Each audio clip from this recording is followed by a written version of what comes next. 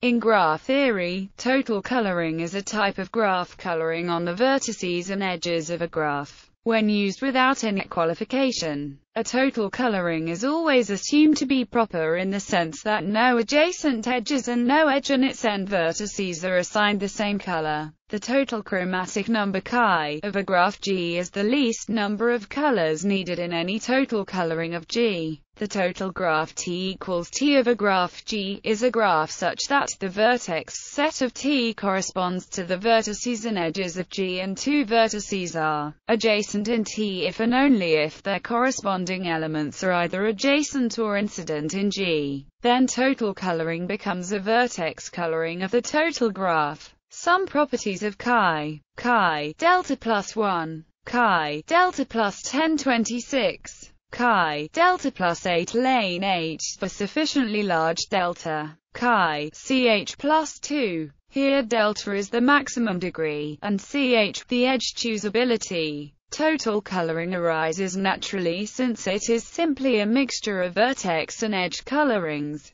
The next step is to look for any Brooks typed or Vizing typed upper bound on the total chromatic number in terms of maximum degree. It turns out that the total coloring version of maximum degree upper bound is a difficult problem and has eluded mathematicians for 40 years. The most well-known speculation is the following. Total coloring conjecture chi delta plus 2. Apparently, the term total coloring and the statement of total coloring conjecture were independently introduced by Behzad and Vizing in numerous occasions between 1964 and 1968. See Jensen, Toft 1995 for details. The conjecture is known to hold for a few important classes of graphs such as all bipartite graphs and most planar graphs except those with maximum degree 6. The planar case can be completed if Vizing's planar graph conjecture is true. Also, if the list coloring conjecture is true, then chi delta plus 3 results related to total coloring have been obtained.